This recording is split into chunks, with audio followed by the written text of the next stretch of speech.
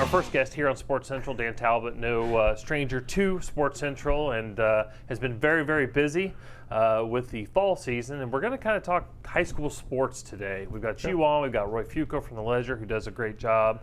Um, in the playoffs, the fall season, starting the winter season. So I know it's a hectic time for you, but thanks for taking the time to come on Sports Central. Absolutely, thanks for having me. Yeah, it's it's a busy time of year when you're you're ending fall sports and you got teams in the playoffs and advancing through the playoffs, and then you know winter sports. It was interesting this year. It was the first time, uh, and I don't want to say ever because I'm sure it may have happened, but boys and girls basketball started on the same date. So that you know, usually the boy, the girls went first and did their tryouts, and the boys started a week later. And so with the new format for the state finals this year, uh, boys and girls basketball started on the same day. Usually, you know, the winter sports are like a week apart, and so the athletic directors have time to kind of focus on one team for one week, and then kind of move forward and progress from basically the start of October to the first week of November. But with boys and girls basketball starting on the same day, we've we've been busy. Well, you were, tell- you were telling me a story uh, yesterday, actually, that maybe there wasn't some great communications. We won't say what schools, uh, but uh, they're used to the girls have already done with the tryouts and the boys start a, a week later. But uh, some teams ended up in the gyms at the same time. Yeah, we had to uh, we had to do some cross court uh, tryouts instead of you know full court, and so but you know obviously they manage and get it done. But it, you know it's you know, it'll be interesting to see how the state the new state finals format works out, and I'll be interested to see you know what impact it has, and looking forward to it. And Dan, for those that don't know, talk about that new format and what that looks like and how that came to be. So we've been talking about it for a few years. Um, with the obviously, you know, Lakeland is, uh, you know, we've hosted the state basketball tournament for as anyone can remember, and that's what we've been known for is basketball, and, uh, and, obviously we're getting known for other things, and which is great. But the girls in basketball state tournament, instead of being the first week of the tournament being girls and the second week being boys, we're going to intermix them. So we're going to have basically the first week of the state tournament this year, instead of it being designated girls, it's going to be designated the smaller classifications. Mm. And then the second week, which was designated for boys, is now going to be the bigger classification. So for example, Winter Haven boys last year made it to the made it to Lakeland, and so did the girls. And the girls were a week before, and the boys were a week later. So when the girls are playing, you know, it worked out last year where Winter Haven girls I think played at one o'clock, and then the boys were playing that night at home at seven o'clock. Well, now we'll have a state semifinal game at one o'clock with the girls team, and at three o'clock we'll have a semifinals boys game and it potentially could be the same high school. Uh, so we're going to look at intermingling the boys and girls game. So it, just to try it out and try to boost attendance and uh, create some excitement around the state tournament and try something different this year and uh, see how it works out.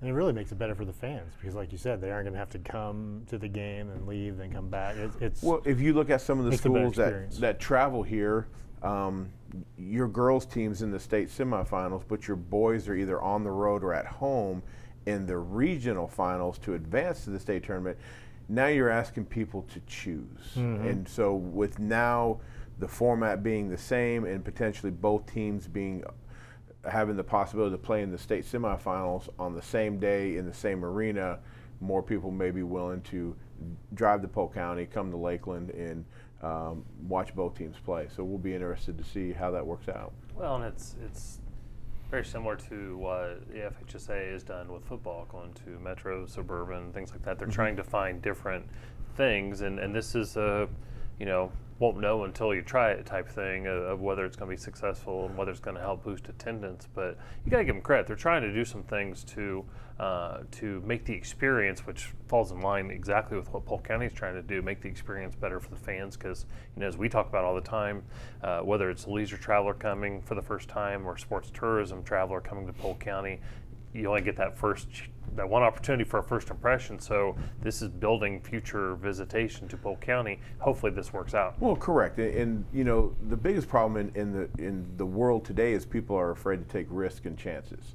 And the, the, nice thing is when the, the FHA went to suburban metro format for football, that I think it was the fix to the ongoing classification classification issue. I didn't think it was the the solver, but it took us in the right direction that we stepped away from the norm of doing something they've done for 100 years and they've changed it. Is it the correct answer? Don't think so. It paid well for us. We got two state champions in football last year, but they're looking at changing it again. But the fact that is, like you said, they're trying, they're making changes because the nice thing with the boys and girls basketball tournament is if it's unsuccessful or doesn't produce the results people are looking for, you can always go back.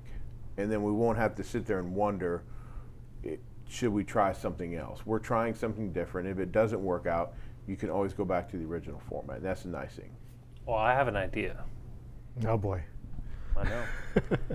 Kris, you know I played Indiana high school basketball before they went to classifications. Just put everybody in the same. Just Just a big I- they, 164 they went to classifications in Indiana and it destroyed the tournament. You're Nothing- saying one big bracket, just, Just throw one 'em- big just like bracket. NCAA. Well, and if you if you look at the new classification, It's never going to happen. But no. well, if you look at the new classification proposal for because this is the last year of the suburban metro in football, so they formed a classification committee with coaches, athletic directors, community people, and they have come up with a format to um, separate schools by population, but then at the end of the year, use the ranking system and they haven't really decided on the number. The number of 16's been thrown out, the number of 32's been thrown hmm. out. But what they want to do at the end of the year is pull out the top 32 teams in the state, and this is all sports, mm-hmm. and put them into an elite class. Hmm. And so now the best of the best are going to create and play in that elite class. So then you would get, um, just imagine um, Bartow basketball versus Columbus basketball in the regional finals. You know, there's going to create more games, or take football where you could have a St. Thomas Aquinas versus a Miami Central in the opening round of the playoffs. And taking those elite 32 and, and creating a whole separate division for the best of the best. And, and if you win that in the state of Florida, no matter if it's basketball, football, baseball, softball, you can win that elite division. You're, you're, you got a pretty good team.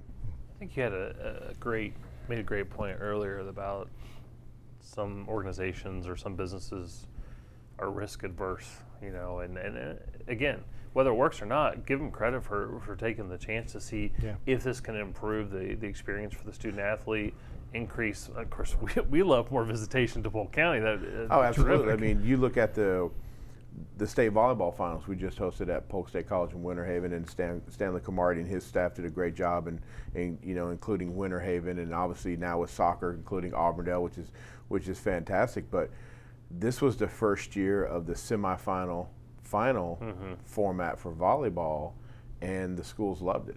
You know, I, I think the schools that won loved it. I think the schools that lost were like, well, I, I probably would have had this game at home. I probably would have won at home versus being here. But, you know, six days of people traveling to Polk County, staying in our hotels, eating at our restaurants, seeing what this community has to offer, you know, when it comes to sports. And, and it, it's a great opportunity for us to showcase how much we do value sports in this community, what we have to offer. And the biggest part, and I can tell this, is people always ask me, how do you, how do you, how are you getting everything? I said, it's, it's not me, it's the people that we partner with in our community, and the FHA knows that they're wanted here. Mm-hmm. And it's like anything else, you go where you're wanted. We want th- these championship venues in our community. We want to expose our people to what championship events look like, and it, it's a great partnership and, and, and great opportunity for everyone in our community.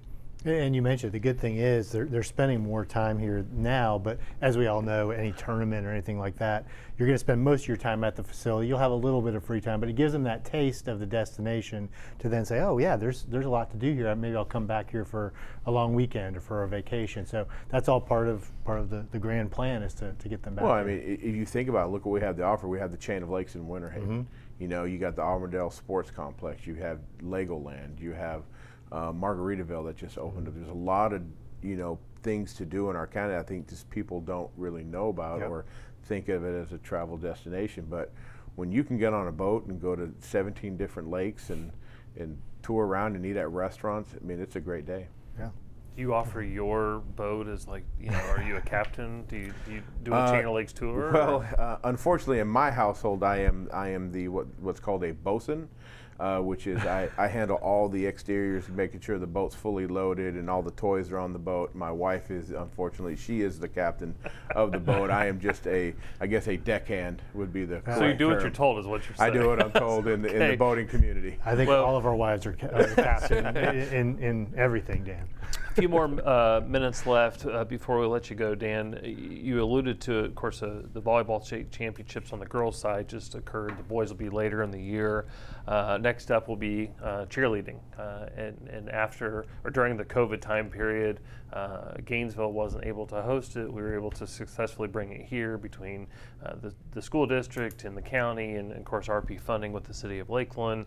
Um, that was not unnoticed at that time, and, and now uh, those championships will be here for, for quite a while. Uh, boys and girls soccer will now be at uh, the Lake Myrtle Sports Park in Auburndale. Uh, this year, the, the smaller classifications, next year, the larger, and then the third year, the, the whole thing. And they're going to a Final Four type uh, format as well. And of course, uh, girls and boys basketball, and then end it with um, or weightlifting as well. Uh, so, talk about nine state championships. Different championships are in Polk County now, and you talk about the relationships, and I, and I think it needs to be repeated because Polk State, City of Lakeland, RP funding, City of Auburndale, Lake Myrtle, the county, this district, they understand that, as they might say, we've got our stuff together in this community. Is is that that a nice way? That's is how that, say it? that's the way to say that? I've heard it that way you before. know, it, it all looks good and sounds good until I, I looked at my calendar. I was like I don't have one free weekend in February. It's just like state championship after state championship. But you know, I was thinking about this on the ride over because I knew this would get brought up. You know, police departments serve and protect. You know, fire departments serve. It, when you work for the school district, you serve the people of your community, and we provide athletics to our community, you know, as a way to showcase our talents, you know, what we do on the field and in the classroom.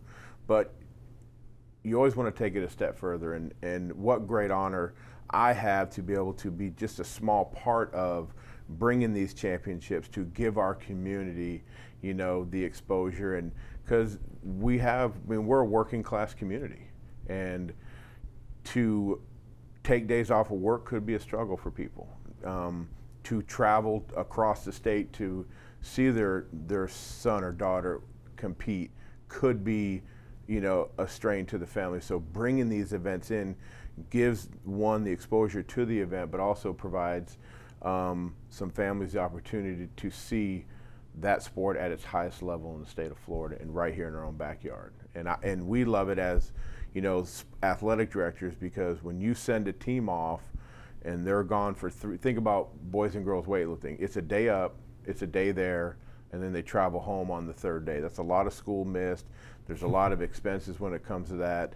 You, you worry about the student athletes and the coaches driving down 75. There's a lot of worry hmm. in there, but when you can host a state championship event and the student athletes can sleep in their own beds, the coaches sleep in their own bed, they can meet at RP Funding Center. There's a lot of less stress on that too. I was going to say nine state championships. We love that, obviously.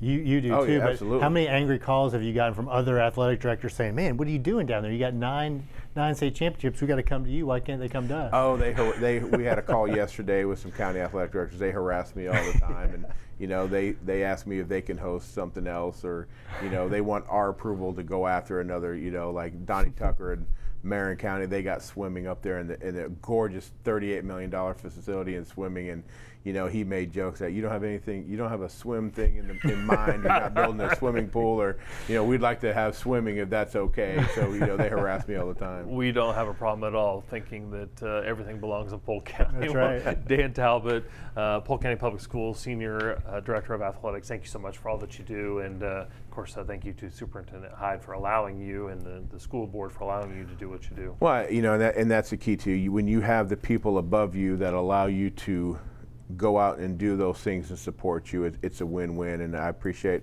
you know, our partnership and, and looking forward to. I don't want people to think that we have maxed out or we're done. I think, you know, the beautiful thing about the people in Polk County is, we're- you know, we got the nine and we're already talking about what's next. Right. All right. Well, thanks again. We really appreciate it. Happy Thanksgiving. And You uh. We'll Thank see you you. real soon. If you enjoyed this interview and want to watch more Sports Central, click the video below. And don't forget to like, share, and subscribe.